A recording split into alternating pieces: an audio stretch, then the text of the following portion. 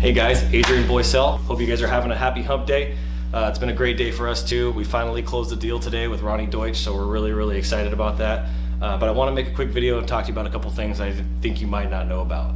So, don't know if you know, but I was doing a little research, and this year, 2016, will be the biggest years people becoming millionaires, business owners specifically, becoming millionaires off of Facebook and LinkedIn. Just those two alone is going to be the number one year we've ever seen because of technology and some of the things like that. So uh, they're going to be doing that. A lot of people are wondering how by leveraging the power of social media sites uh, to enhance their image, their visibility, and most importantly, their incomes.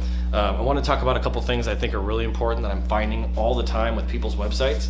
And uh, I think it's really important to kind of talk about this. So, uh, the first thing that I notice all the time are people's contact forms. Um, they ask a lot of questions. What's the year of your vehicle? How many miles? You know, there's just way too many form fields, especially with attorneys. I see it probably the most common. They're asking a million questions on these contact forms, and it's really not necessary. You want to keep these contact forms as simple as possible. Name, email, phone number. There's not really a whole lot more that you need other than that. Just need to keep it simple. That's really the goal of getting a contact form entry in the first place is getting their contact information, showing an interest, expressing an interest in what your product or service is. So if you can get their name, email, and phone number, you're in great shape.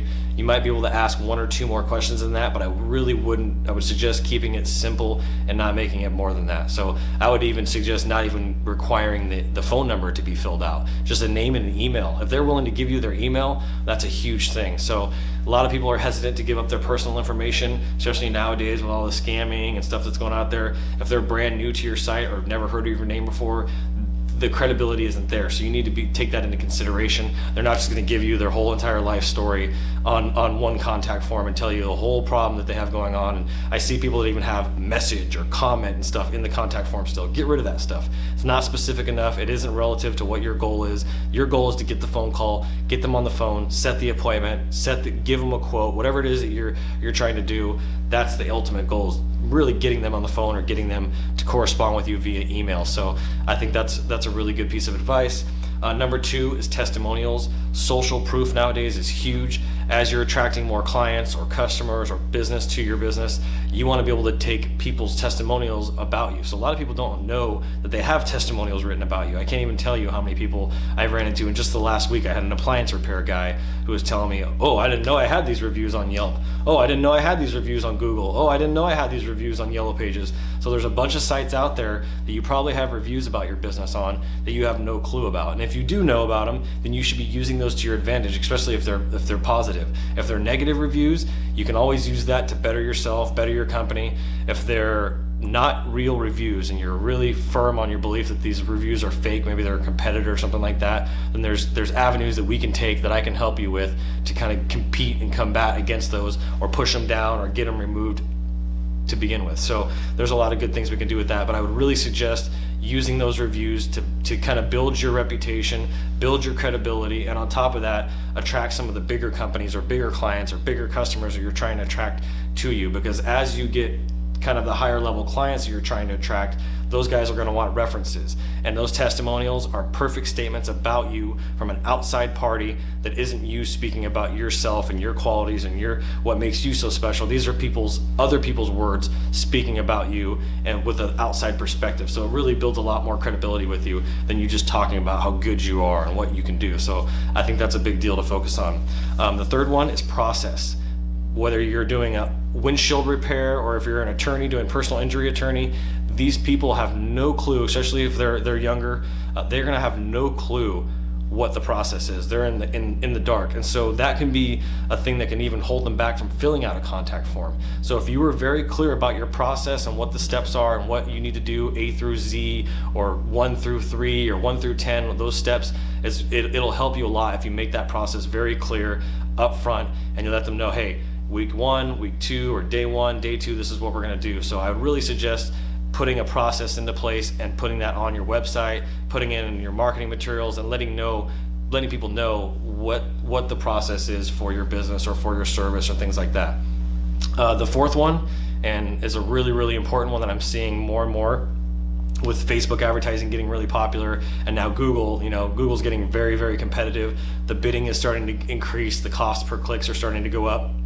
So as you do that, the less specific your landing page is and the less specific your ad is speaking to one person or you know if your if your ad isn't relevant to the actual landing page that you have you're costing yourself a ton of money thousands it could be thousands of dollars. You could be spending $500 a month and be throwing half of your budget away on, on wasted content. So like negative keywords a lot of things that we can do to really improve an adwords campaign. So i see a lot of people with their their landing pages they'll put in no contact form they'll put in very little content they'll have a phone number on there or they'll just have a static landing page with almost nothing on there besides like a photo and like one little blur of text it's the perfect example I can give you is if you were looking for some brand new Air Jordans and you wanted to get some badass ones that just came out and you want to get some badass Air Jordans and you were looking online Air Jordan special or a new Air Jordan deal and all of a sudden an hour to pop up and it said 33% off of Air Jordans and you're like yes there that's probably a good one. You click on the ad and all of a sudden it takes you to the homepage of, of Nike you're going to be pretty pissed off. That is not what you were looking for. You wanted to see the 33% off deal for the Air Jordans. It's the same way with your business, no matter whether you're a contractor, whether you're a professional services, any of that stuff. You need to be very specific, and your landing page needs to, to be exactly what your ad says. So if you're saying, I'm a, a, solar contractor specializing in residential solar, offering a free evaluation. Then on that home page or on that landing page, it needs to see residential solar contractor offering free evaluations not we're the best solar company in town and all these other things that people like to talk about on their homepage. Sending people to your homepage for a Google AdWords campaign is a complete waste of money, so stop doing it. If you need help, I can help you with this stuff. What we're doing right now, we have a special going on. A couple things I'm going to offer you to you here. One of them is our 30 minute strategy session. We normally offer a free one on one strategy session with me. We can talk about your goals, your progress that you've been making over the last couple years, things like that. And then from there, we'll talk about what your future goals are, where your progress has been. We're going to talk about what your budgets are. We're going to talk about what sales projections. We're going to talk about a little bit about the demand of the market, and we're going to do a full-blown marketing and advertising evaluation.